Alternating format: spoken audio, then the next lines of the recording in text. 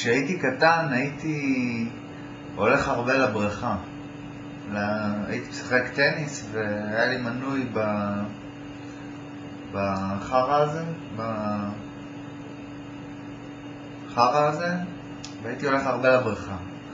והייתה שם מגלצ'ת מים, ויום אחד אני התגלצתי במגלשה, ואני חושב שזו הייתה הפעם הראשונה שהתגלצתי.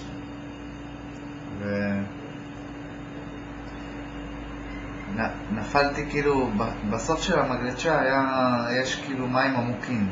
וכשנפלתי שם אז בלעתי מים ונכנס לי מים לאף וזה. וכמעט טבעתי, הייתי יכול למות. הייתי, הייתי מת, מת. ואז הסרטון הזה לא היה קיים בכלל ולא הייתם צופים בו.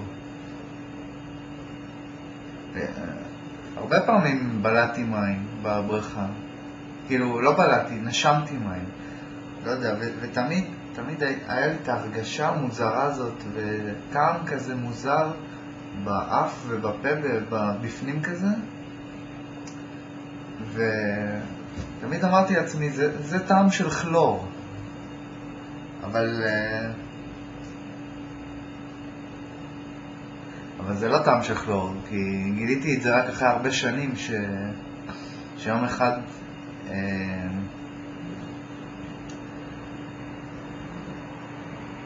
יום אחד התקלחתי ונכנס לי מים לאף, בזמן שהייתי במקלחת.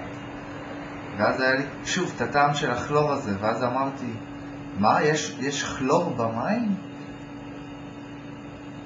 יש כלור במים של הברז? ואחרי מחשבה קצרה, הגעתי למסקנה שאין כלור במים של הברז. פשוט פשוט הרגע שנכנס לך מים לאף, מקושר אצלך בטעות לכלור, זה לא כלור. זה התחושה שמרגישים שנכנס מים לאף. זה לא קשור לכלור בכלל.